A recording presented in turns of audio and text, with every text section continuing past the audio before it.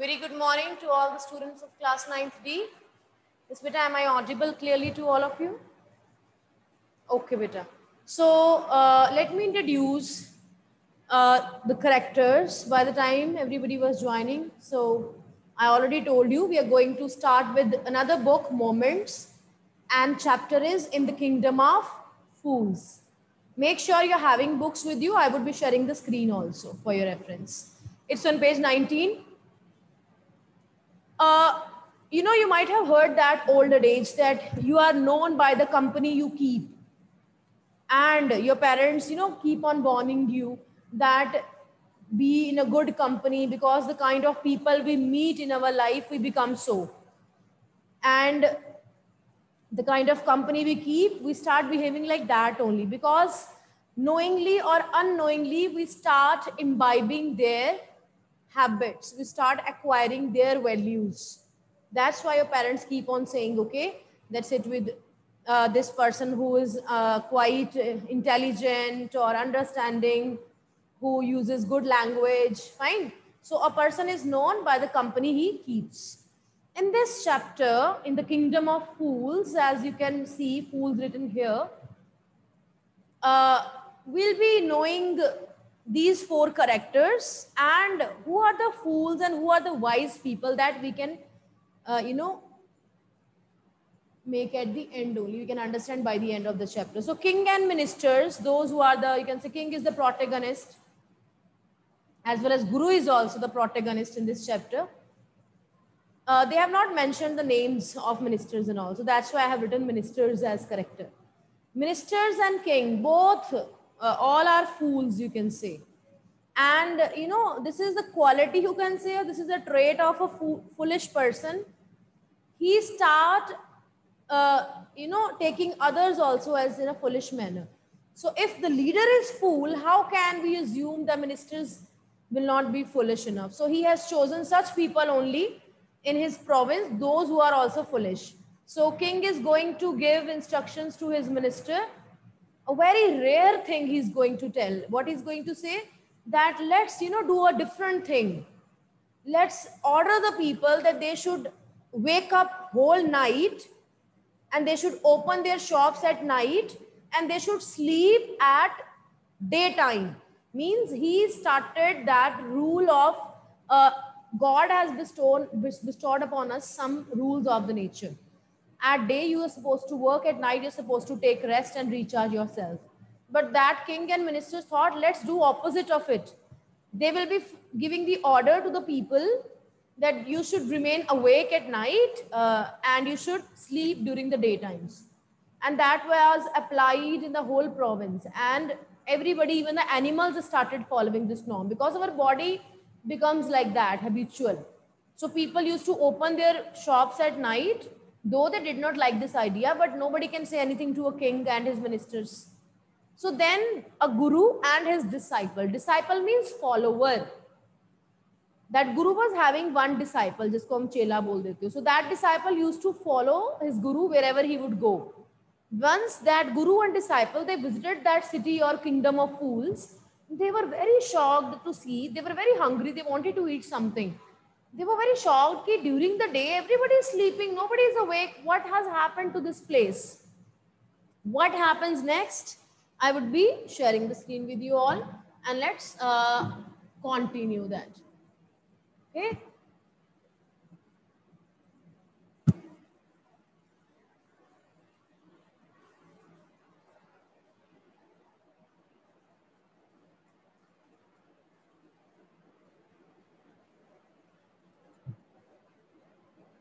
Clear, beta?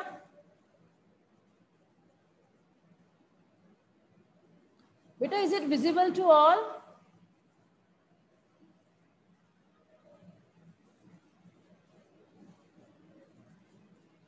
Yes, it's visible.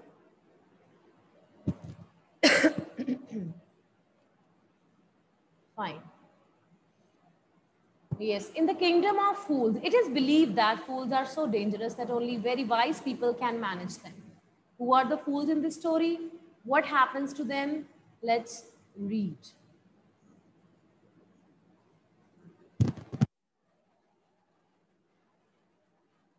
you have already uh, you already know all the characters now okay uh, in the kingdom of fools both the king and the minister were idiots idiots means fools so i'm reading from my book beta. You also if you have book read from book. If you don't have book then you screen both the king and the minister were idiots. They did not want to run things like other kings. So they decided to change night into day and day into night. They thought he every king you know uh, is same. We want to be some uh, different from them. And let's start let's change the day into night and night into day they ordered that everyone should be awake at night till their fields and run their businesses only after dark and go to bed as soon as the sun came up. So that was the instruction underlined. What were the instructions? That everyone whether you're working in fields whether you're doing any business you have to work only when it gets dark. After that ko start hai kaam. And you have to go to bed when sun rises. Opposite of this anyone who disobeyed would be punished with death. So that was the strict order by king. That's why everybody started following it blindly. Everybody knows that this is wrong. But even then they started following it because death was the punishment who will not be following this norm. The people did as they were told for fear of death. The king and the minister were delighted at the success of their project. One day, a guru and his disciple arrived in the city. It was a beautiful city. It was broad daylight, but there was no one about. Everyone was asleep. Not a mouse stirring. So Guru and disciple, when they visited the city, it was a beautiful city, but not a single person, neither animal nor any other creature could be seen. So they were very shocked that what happened to this place? They're not able to see neither an animal nor any human being. What to do now? Even the cattle had been taught up to sleep by day. The two strangers were amazed by what they saw around them and wandered around town till the evening when suddenly the whole town woke up and went about its nightly business. They kept on searching for food and or shops to open and all. When it was night time, they were very tired, both guru and disciple, and they saw people started coming out from their houses. And at night, they started opening their shops and they started going to their businesses. That was quite shocking for Guru and his disciple. The two men were hungry. Now that the shops were open, they went to buy some groceries. To their astonishment, astonishment means to their surprise, they found that everything cost the same. A single duddu. It's a currency beta.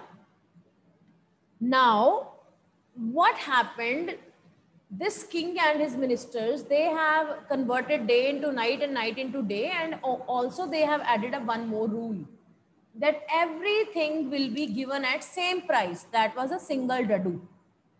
Whether they bought a measure of rice or a bunch of bananas chahe wo bananas ja rahe hain whether they are buying rice everything cost a single duddu. The guru and disciple were very happy. They were delighted. They had never heard of anything like this. They could buy all the food they wanted for a rupee. They thought, okay, one rupee you can get bananas, one rupee you can get rice, one rupee you can get ice cream. Whatever they wanted to buy, they were getting for single radu, single rupee. When they had cooked and eaten, the Guru realized that this was a kingdom of fools. Guru's thought and thought, he said, people start working at night and having everything at single rupee it means it is a kingdom of fools only. It is not a kingdom of wise people. This is not something to be boast about. and This is not something which we should be happy about. So he thought this is not a good idea to stay here. You know, they kept on visiting here and there, but Guru was very wise. He did not like this place. He said, This place is full of fool, foolish people he asked his disciple, let's decide to stay somewhere else. This is no place for us. Let's go, he said to his disciple. But the disciple didn't want to leave the place. Everything was cheap here. Cheap means sasta. All he wanted was good, cheap food. The Guru said, they are all fools. This won't last very long and you can't tell what they will do to you next. So when disciple, uh, you know, he never wanted to leave this place. He thought that everything is very cheap here. So I should, I think that I, we should stay here only. यहीं पे रहना है And Guru said, no, this is not a permanent condition. Such kind of people, such kind of places do not last long. Let's leave. Disciple says no to his Guru. So you tell me now, who will tell me the decision made by Guru to leave that place? Is it correct? Or the decision made by disciple because everything is so cheap, that is correct. Raise your hands. One hand is raised. बेटा it is not about right and wrong कुछ भी कह सकते हो what ever you feel like आप किसकी favour में हो गुरु की और डिसाइपल की गुरु saying this place is kingdom of fools let's leave this place. yahan pe nahi rehna hai and disciple is saying we have to live here. Because everything is so cheap. If we go to other place everything is quite costly. So with that thought disciple wants to stay there. Any other? Only titiksha has raised hand aur kisi ko nahi pata hai kya reason hai beta try to take part. I should name one of you then. Arshita aryan bhavansh Nobody raising hand. In whose favor you are? By the time I ask Titiksha, I want other hands to be raised also. Okay, Titiksha, you tell me, beta. What do you think? I'm, I'm, I'm in the favor of Guru who says we should live from here because in the company of bad people, or foolish people, we also become like them. Yes, this is in the beginning I told you, the kind of company we keep, we become like that. If people were living, they were mostly fools and we will also become a fool only or foolish person. So this is the decision of Guru that we should not live in the company of foolish people. So Titiksha is in favor of Guru. Nobody else raising hand? Okay. Let's continue then. Yes. So Guru said, they are all fools. This won't last very long and you can't tell what they will do to you next. You can't tell what they will do to you next. What does it mean? Guru is saying that you never know. These foolish people can do anything to you. Your life is at risk. Guru's advice to his disciple was correct he was saying that these people can do anything don't stay here but he says no i will be staying here so guru himself he leaves the place. But the disciple would not listen to the guru's wisdom. He wanted to stay. The guru finally gave up and said do what you want. I'm going. And left. So guru had to go. The disciple stayed on ate his fill every day. Bananas and ghee and rice and wheat and grew fat like a street side sacred bull. You know, disciple became very greedy. Everything for one duddu, he kept on buying bananas, ghee, rice. He kept on eating and he became like a bull only, animalistic uh, physique. He became so fat and lazy one bright day, a thief broke into a rich merchant's house. Now something is going to happen which will bring twist to the story. That's why it is called Kingdom of Fools What happened one bright day, it was a sunny day. Because you know, people used to sleep at day and they used to wake up at night. You remember? हम ज़्यादातर चोरियां कब होती हैं when people are sleeping, when they are asleep. So it was during the day when a thief broke into a rich merchant's house. He had made a hole in the wall and sneaked in. After making a hole in a wall, he entered in. And as he was carrying out his loot, after looting money, jewels, or whatever he wanted, when he was going back, the wall of the old house collapsed. It fell and on his head and killed him on the spot. That man died on the spot. His brother ran to the king and complained, Your Highness, When my brother was pursuing his ancient trade, a wall fell on him and killed him.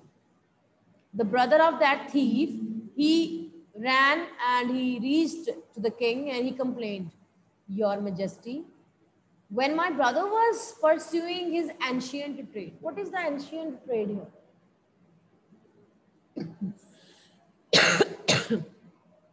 yes, anybody?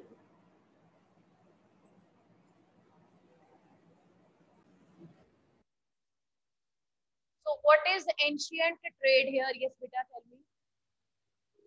Ma'am जैसे जो उनके पूर्वजों से चलती हुई आ रही थी जैसे वो चोरी करते थे तो उन The ancient trade is thievery only because he used to steal the money.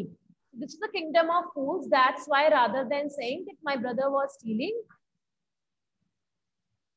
he says my brother was doing ancient business. Fine. So brother of that thief, you know, okay, is it clear to you all? That thief was going into a rich merchant's house during the day because everybody was sleeping. And while going in after uh, looting all the valuables, when he was coming back, wall fell on his head and he died. Then brother of the thief, he went to the king, who's also a foolish man, king and his ministers.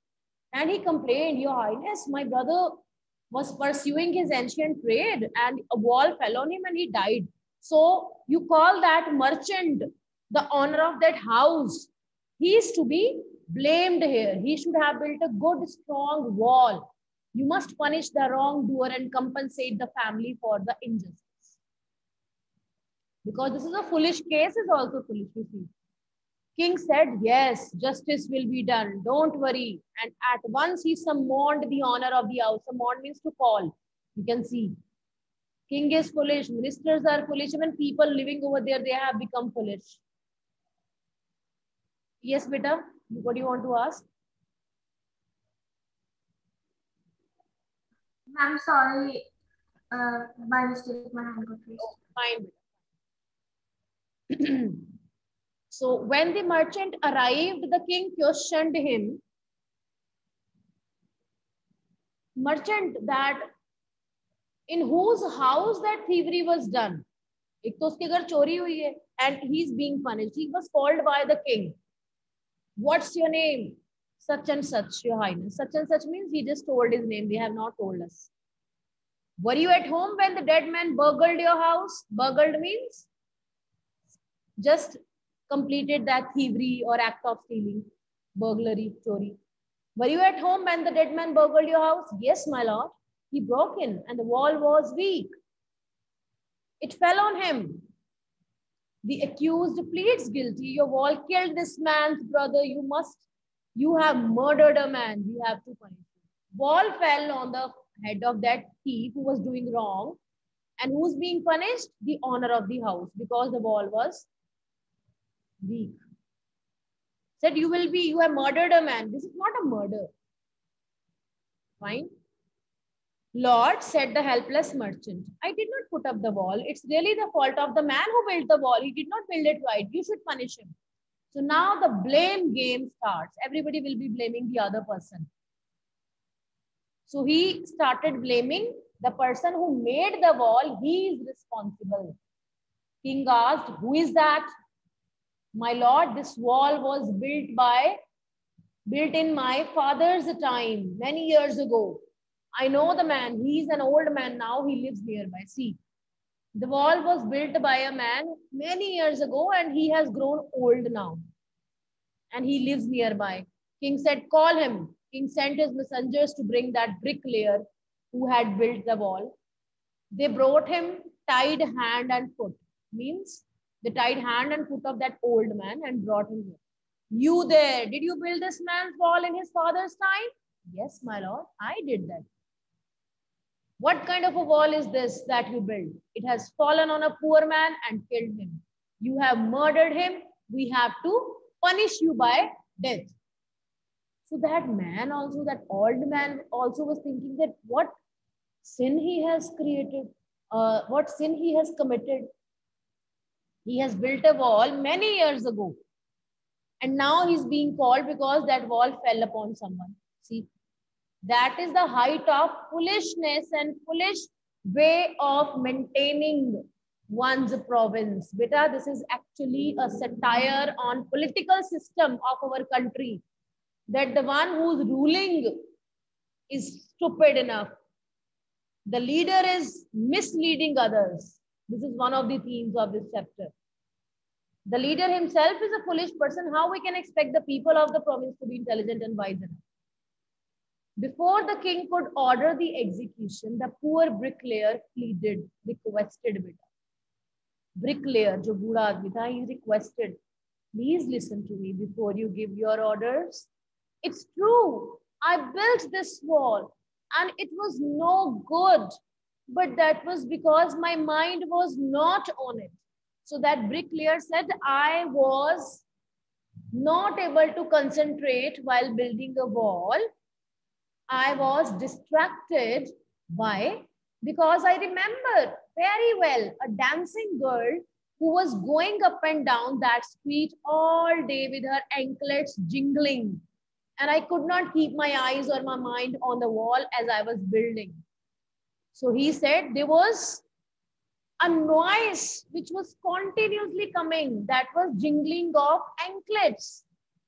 And that jingling of anklets confused me, distracted me. So that's why I did not build a good wall. This is not a right reason. Actually, everybody is giving a foolish response because they know that this will be accepted you must get, you know, in the company of foolish things everybody has become foolish. You must get that dancing girl. I know where she lives. So he says, call that dancing girl now. She will be punished. She is responsible for the death of that man. You are right. The case deepens. We must look into it. It is not easy to judge such complicated cases. Let's get that dancer wherever she is. So king is saying, what a complicated case it is. Let's get that dancer and let's punish her. The dancing girl now an old woman. You know, the wall was built many years ago and she has grown older now. She came trembling to the court. इतनी बूढ़ी हो चुकी है that her body is shaking. She's not able to walk properly. She was carried there. Did you walk up and down that street many years ago while this poor man was building a wall? Did you see him? Yes, my lord. This was the answer given by the old woman. Yes, my lord. I remember it very well. She was old enough to speak. So, you did walk up and down with your anklets jingling. You were young and you distracted him, so he built a bad wall. It has fallen on a poor burglar and killed him. You have killed an innocent man. You will have to be punished. Fine with this. I would like to end this meet. Tomorrow we'll continue Ibita and kindly send your notebooks. I'm giving you the last reminder. If all of you will send me your notebooks today only, by all means, fine. Those who will not send me today, I won't check it tomorrow. Please. This is your last day to submit. Only a few students have sent me. Harmeet was the first one to send. So well done, Harmeet, for that. So kindly beta, send all of you, send me your notebooks. This is the last day to submit. Have a nice day.